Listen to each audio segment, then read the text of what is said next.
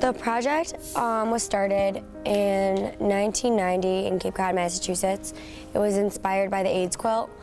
Um, this is Brockport's 15th annual year of hosting our own like clothesline project. It's actually international. There are clothesline projects all over the world. And they estimate, um, they estimated like a couple years ago that there were over like 60,000 shirts. They're all sorted according to year that they were made. Um, there's a bunch of bins. Actually, there's so many that we couldn't even put them all up. And these are all made by Brockport students, staff, faculty members that have, um, you know, either been abused themselves, um, domestic violence, or have been affected by it, or know somebody who was killed. White is for women who have died due to the violence. Yellow is for women who have been battered or assaulted. Uh, red, pink, orange for women have been sexually assaulted or raped. Uh, blue and green is for women survivors of incest.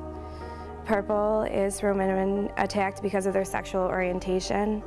The black one is traditionally represented on the international level as um, violence for political reasons. Like they're all violence against women, but it's violence for political reasons, and we decided to change it to emotional abuse because we thought college students at Brockport didn't really identify with violence for political reasons. We thought emotional abuse and like stalking and things of that nature would be more applicable. The gong is for women who have just been abused. The whistle is a woman who has just been raped, and the ringing bell is a woman has just been murdered. The Clothesline Project's importance is basically to spread awareness to the public because a lot of these issues, especially like sexual um, violence issues, are swept under the rug in society. I just want this event to keep going every year and people to keep supporting it.